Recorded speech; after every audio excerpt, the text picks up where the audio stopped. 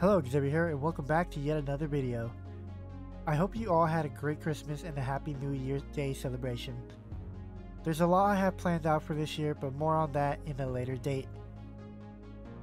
Today I'll be showing you guys some of the new Route 1 Fakemon for the Constella region and the Pikachu clone as well. There are a total of 7 new Pokemon in this video, so let's get right into it, because I don't want to make this video way too long. So previously this guy was going to be the Route 1 bug, but with some new stat changes I gave it and its evolutionary line changing, that isn't the case anymore. So instead, I decided to go with a lovely arachnid for our Route 1 bug, even though spiders aren't technically bugs. My original idea was to make a trapdoor spider and a sedimentary rock combo with not much uniqueness to it as I didn't want to make a cluster design for a Route 1 Pokemon. I made the body resemble a sedimentary rock and kept the shape simple by making it a circular body. I even added a little patch of dirt and grass that it would wear since it's based on a trapdoor spider. After the initial design, I was 50-50 on it, and the reason why is because the design felt too simple and I felt like I executed the design idea pretty poorly. So I looked into more spiders and decided to base it off of a spiny orb weaver. This type of spider has spikes on its back and this worked perfectly for an idea I had in mind for its evolution. With the new base and this new idea, I started working on what is now the final design. This time I changed the head shape to make it more unique and stand out more. I took away from its trapdoor spider origin and gave it a body closely related to a spiny orb weaver. With the new design in place, I realized that changing the head shape and basing its body off of a spiny orb weaver was the best option. For its evolution, I based it off of a spiny weaver as well as a tarantula, and made the spikes that spiny orb weavers have into drills. I also gave its abdomen some designs similar to a spiny orb weaver, while keeping the designs as close as possible to sedimentary rock colors. Though its body is composed of both a spiny orb weaver and tarantula, I will however be keeping its trapdoor spider origin in the form of its personality.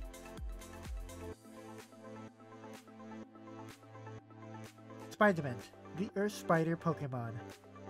Spiderments aren't very aggressive, and so they let the adults hunt the food for them.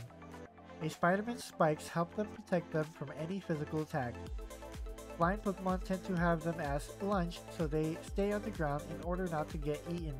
These Pokemon are great at hiding underground due to their hinds bearing resemblance to rocks.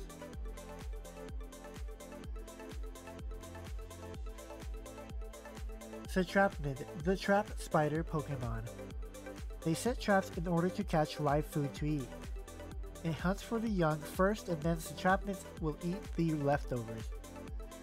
They're very protective towards their territory and if two Satrapnids of different areas meet, they'll fight. You can tell if an area is taken by a Satrapnid if there is a clear and clean circle on the ground with sticks as a border. So before we get started with the next Pokemon, I want to mention that starting now I will also be explaining any new abilities that a Fakemon may have. Originally, I did this only on my Instagram, which you guys should definitely check out. But I decided to also inform you guys on what the new abilities do as well. Webbed Trap. When a Pokemon with disability is sent out, it will set up a sticky web trap which lowers the speed of any Pokemon that touches it when sent out. Webbed Body. The Pokemon with disability is immune to all water type moves. And if the Pokemon with disability is hit with a physical touching move, then its opponent's speed will go down as well. Pokemon with disability will also take double damage done by fire type moves. For the Route 1 bird Pokemon, I've actually based it on the Caladrius. This bird was said to be a bird capable of healing and curing all illness.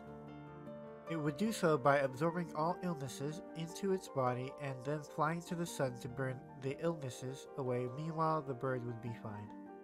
The Caladrius is said to be a water bird known as a Heron, and so I based the first and second stage as a Heron and the final evolution as the Caladrius. For the first stage, I kept it simple by just making it a heron. The heron already had a very interesting shape, so I wasn't worried about making it too simple like the bug Pokemon. Originally, I wanted it to be more fluffy, but I changed that in order to simplify it a little bit more. I based it off of the baby heron, and so it has this interesting and weird pose, as well as some of its hair sticking out all crazy. For the second stage, I went with the same idea but based it off of a fully matured heron. Now it has long legs that allow it to walk in shallow lakes and ponds that allow it to catch fish without causing too much attention in the water. I'm sure you also noticed I drew a snake on its leg and that is because I originally wanted to have the bird tie in with the Asclepius medical symbol, but I decided to recycle that idea for another video in order to simplify the bird a little bit more. And now finally the final evolution which is the idea that started the bird idea, the Caladrius heron bird myth. I gave it large wings and a graceful pose for it while also looking up references on herons. I wanted to give it a more unique design than just a bigger heron so I added some color gradients to the tip of the wings and the puffy feathers on its chest.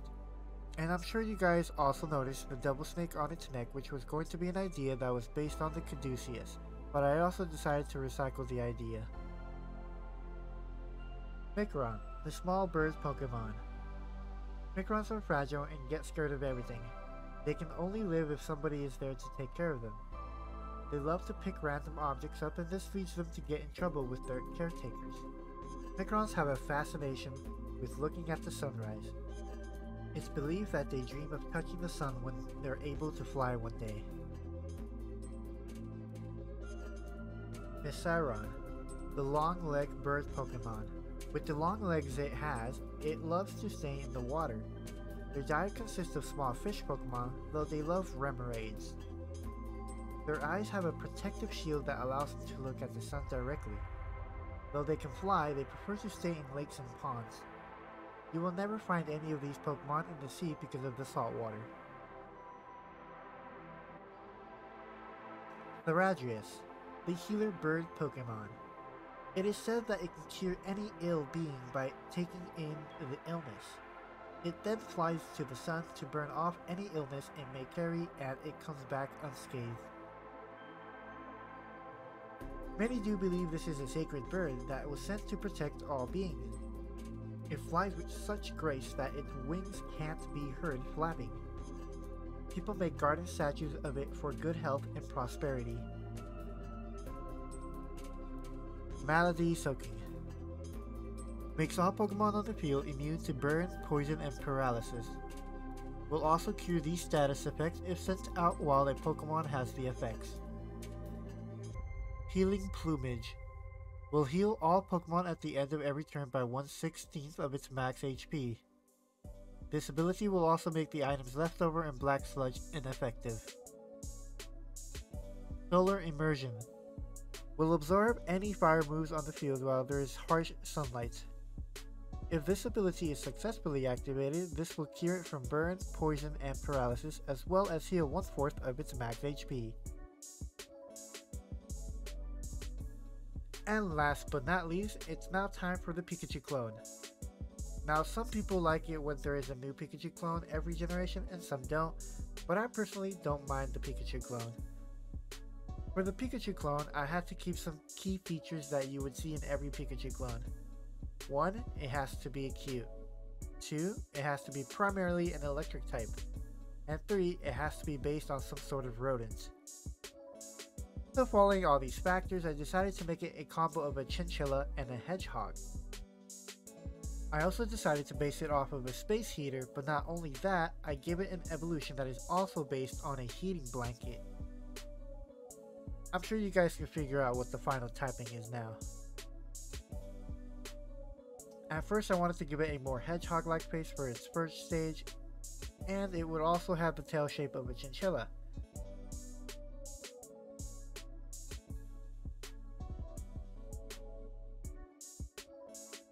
As for the evolution, I made the spikes on it like a cape, which it would also use as the heating blanket. The body patches it has on its design as well as the classic cheek pouch on the face would also create the heat, simulating a space heater. After the first rough sketch was done, I went back and changed a few things on both designs with the tips that my close friends gave me as well as some other personal changes that I wanted to change. Starting off, the head of the first stage would be changed. This was to make it cuter by making it have a bigger forehead. After the change I made to the head, I kept the initial design for the rest of the body while fixing a few things here and there.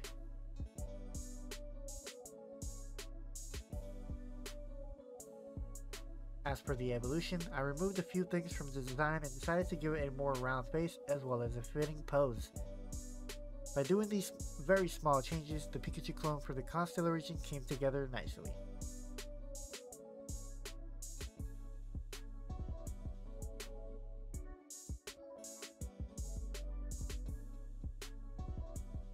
Chinormo, the spiky Pokemon. These Pokemon like to group together and snuggle. They will try to snuggle with other people and Pokemon, but the spikes hurt them instead. The spike coat it has is electrifying, and it can stun others for 10 seconds. Chinormos are warm when pet on the head. Thanks to this, they are often popular to pet in the winter seasons. Peltchilla, the cozy Pokemon. Peltchillas roll into a ball so that they can protect themselves. The patches on them produce both heat and electricity. They like to play hero because their pelt resembles a cape. This leads them to being selfless and kind. The pelt can extend to a max of 6 feet. This allows them to keep others warm. Its body and pelt can reach up to 50 degrees Celsius. Wow, that was a lot of Fakemon that we just went through. I'm finally glad that I was able to show you guys these new Constella region Fakemon.